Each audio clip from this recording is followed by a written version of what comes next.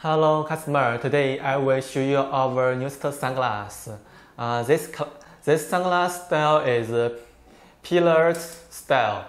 Uh, the frames and uh, mantle material is uh, stainless steel and the temples material is uh, nat natural ebony wood. And this is spring hinge. If your head is very big, don't worry, you can adjust it uh, so you can wear it uh, easily and comfortable. Last, our MOQ is only one piece. If you are interested in it, you can tell us.